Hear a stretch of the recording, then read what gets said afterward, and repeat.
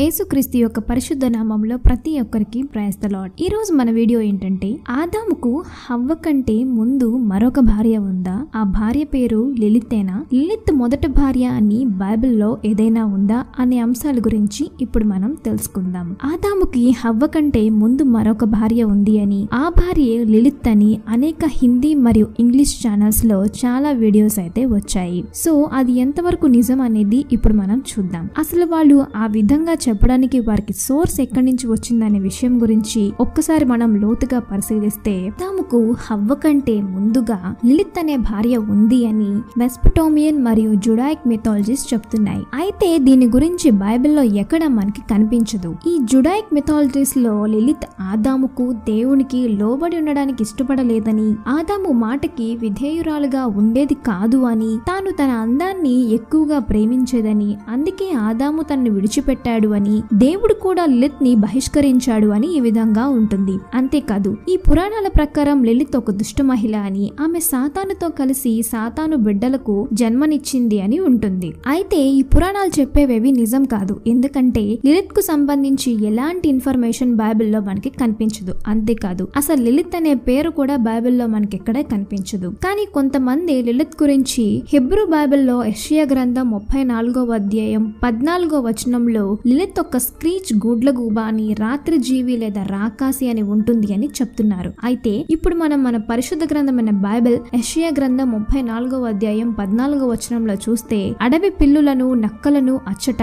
కలుసుకును అచ్చట అడవి మేక తన తోటి జంతువులను కనుగొనను. అచ్చట చువ్వ పెట్ట దిగి విశ్రమ స్థలము చూచుకొనును అని ఉంటుంది. ఈ వచనాలు లిలిత్ గురించే చెప్తున్నాయని లిలిత్ లూసిఫర్తో కలవడం గురించి చెప్తున్నాయని చాలా మంది వాదన. కానీ ఈ వచనంలో ఎక్కడ కూడా ఆదాము గురించి ఎలాంటి ప్రస్తావన అయితే మనకు కనిపించదు. ఒకవేళ ఆ వచనాలు లిలిత్ గురించి అయి ఉంటే ఆ వచనాలు లిలిత్ లూసిఫర్ గురించి అయి ఉండవచ్చు. అంతే తప్ప లిలిత్కి ఆదాముకు ఏ విధమైన సంబంధం లేదు అని మనకు ఆ వచనాలను బట్టి అర్థమవుతుంది. అయితే కొంతమంది యూదులు వివాదకారులు లలిత్ పేరైతే బైబిల్లో లేకపోవచ్చు కానీ లిలిత్తే ఆదాము యొక్క మొదటి భార్య అని తన గురించి ఆదికాండము ఒకటో అధ్యాయంలో హవ్వ గురించి రెండవ అధ్యాయంలో ఉంటుంది అని చెప్తున్నారు. సో ఇప్పుడు మనం ఆదికాండంలో ఒకటి రెండు అధ్యాయాల్లో ఉన్న వచనాలను ఒకసారి చూద్దాం. ఆదికాండము ఒకటో అధ్యాయం ఇరవై ఏడవ వచనంలో ఈ విధంగా ఉంటుంది. దేవుడు తన స్వరూపమందు నరుని సృజించెను. దేవుని స్వరూపమందు వాని సృజించెను. స్త్రీనిగాను పురుషునిగాను వారిని సృజించెను అని ఉంటుంది. అలాగే ఆదికాండము రెండవ అధ్యాయం ఏడవ వచనం ఇరవై రెండవ వచనాలు ఒకసారి చూద్దాం. దేవుడైన యహోవా నేల మంటితో నరుని నిర్మించి వాని నాసికారంధ్రములలో జీవవాయువును ఊదగా నరుడు జీవాత్మాయను. తరువాత దేవుడైన యహోవా తాను ఆదాము నుండి తీసిన ప్రక్కటెముకను స్త్రీగా నిర్మించి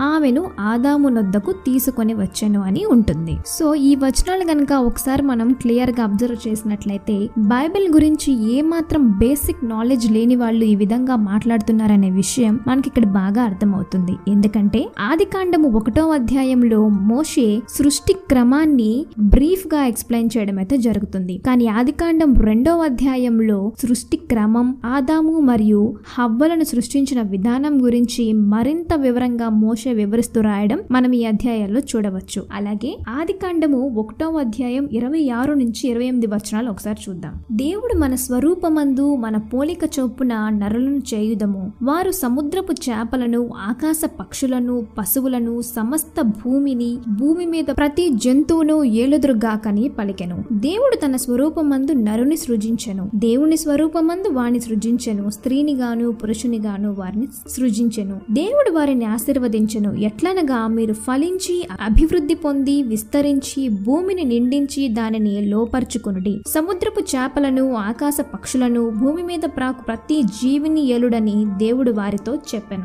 అలాగే రెండో అధ్యాయం పద్దెనిమిదో వచనం నుంచి ఇరవై ఐదో వచనం వరకు ఒకసారి చూద్దాం. మరియు దేవుడైన యహో యహోవా నరుడు ఒంటరిగా నుండుట మంచిది కాదు. వానికి సాటి అయిన సహాయమును వాని కొరకు చేయుదుననుకొనెను. దేవుడైన యహోవా ప్రతి భూ జంతువును ప్రతి ఆకాశ పక్షిని నేల నుండి నిర్మించి ఆదాము వాటికి ఏ పేరు పెట్టునో చూచుటకు అతని యొద్దకు వాటిని రప్పించెను. జీవము గల ప్రతి దానికి ఆదాము ఏ పేరు పెట్టెనో ఆ పేరు దానికి కలిగెను. అప్పుడు ఆదాము సమస్త పశువులకును ఆకాశ పక్షులకును సమస్త భూ జంతువులకును పేర్లు పెట్టెను. అయినను ఆదామునకు సరి అయిన సాటి అయిన సహాయము అతనికి లేకపోయాను. అప్పుడు దేవుడైన యహోవా ఆదామునకు గాఢ నిద్ర కలుగ చేసి అతడు నిద్రించినప్పుడు అతని ప్రక్కటెముకలలో ఒక దానిని తీసి ఆ చోటును మాంసముతో పూడ్చివేశాను తరువాత దేవుడైన యహోవా తాను ఆదాము నుండి తీసిన ప్రక్కటెముకను స్త్రీనిగాన నిర్మించి ఆమెను ఆదాము నొద్దకు తీసుకొని వచ్చాను. అప్పుడు ఆదాము ఇట్లనెను నా ఎముకలలో ఒక ఎముక నా మాంసములో మాంసము ఇది నరునిలో నుండి తీయబడెను కనుక నారి అనబడును. కాబట్టి పురుషుడు తన తండ్రిని తన తల్లిని విడిచి తన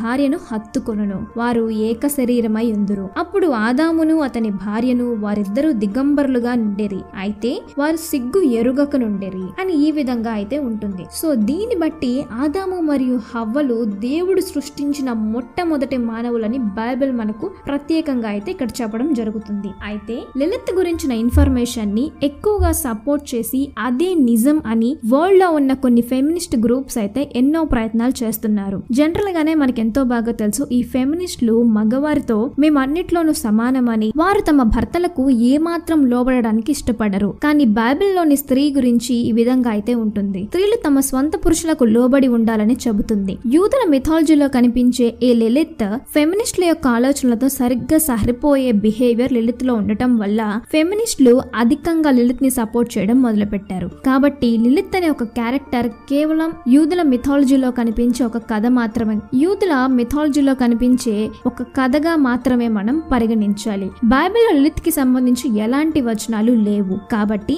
ఆదాము మొదటి భార్య లిలిత్ అని చెప్పడానికి కూడా ఎలాంటి ఆధారాలు మనకు ఇక్కడ కనిపించవు. కాబట్టి ఆదాముకి హవ్వ మాత్రమే భార్య అని మనకి అర్థం అవుతుంది బైబిల్లో ఉన్నదే నిజమని ఎందుకు అనుకోవాలనే డౌట్ మీకు రావచ్చు. బైబిల్లో జరిగిన ప్రతి అంశం గురించి నేటికి మనకు ఎన్నో చారిత్రక ఆధారాలు అయితే మనం చూడగలుగుతున్నాం. కాబట్టి బైబిల్లో ఉన్న ప్రతి వాక్యం సత్యం. సత్యం. బైబిల్లో ఉన్నది మాత్రమే నిజం. సో ఇది గాయస్ ఈ రోజు వీడియో. ఈ వీడియో కనుక మీకు నచ్చితే షేర్ చేయండి లైక్ చేయండి. అలాగే దేవుడిలో ప్రతి ఒక్కరూ బలపడాలని మేము చేస్తున్న ఈ చిన్న ప్రయత్నానికి మా ఛానల్ని సబ్స్క్రైబ్ చేసుకోండి.